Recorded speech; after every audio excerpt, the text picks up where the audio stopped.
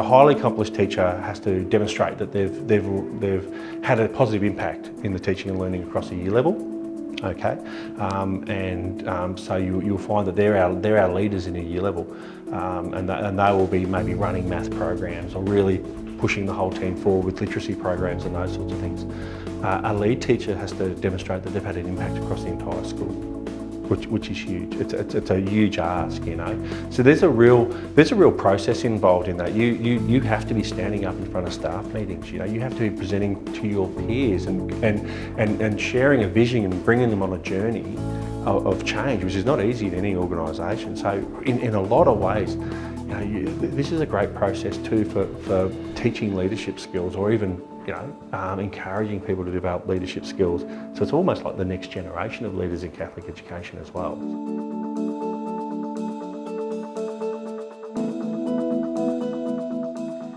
What I think I've benefited the most out of the certification process was the professional learning is second to none.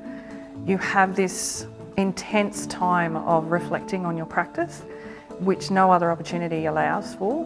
You also have to really dig deep and find those moments.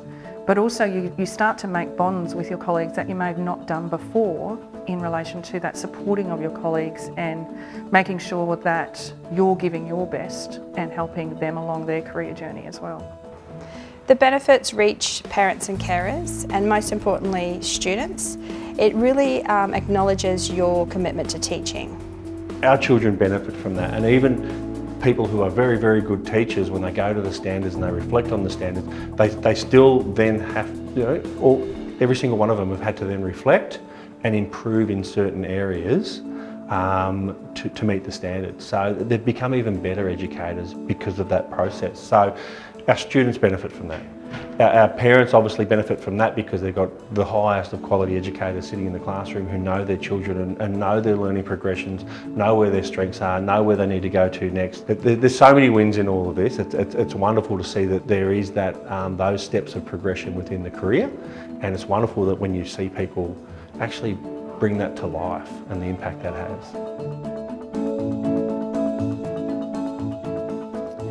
The process of certification has definitely changed the way that I teach.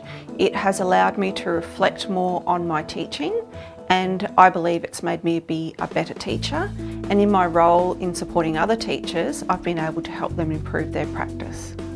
The process definitely has um, further developed my passion for teaching. Um, I've been teaching for 18 years and definitely been a passionate early years teacher. But I think pursuing certification and receiving certification has um, definitely made me more passionate in the classroom. My passion for teaching has definitely deepened.